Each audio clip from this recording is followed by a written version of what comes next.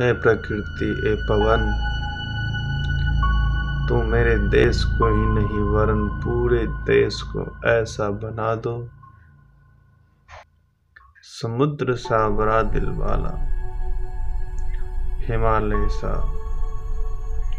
हिमालय पर्वत सा ऊँचा, और मेरियाना गर्त सा गहरा। माँ की आंचल सा उदार। गंगा सा पवित्र, तारे सा बेदाग बच्चों बच्चों में दोस्ती सा प्यार।